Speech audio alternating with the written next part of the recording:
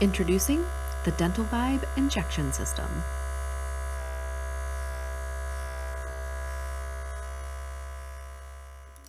This lightweight, two pronged device helps minimize the pain from anesthetic injections. Here at Columbia Center, your comfort is our top priority.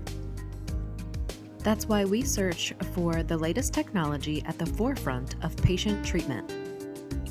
I'm sure some of you may have seen the handshake technique with injections.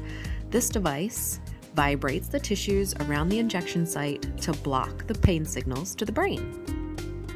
Using a light hand, the doctor holds this device as close to the injection site as possible for about 10 to 20 seconds, and it will almost eliminate the pain from injections. This is just one of the many ways Columbia Center is using technology to provide greater patient care.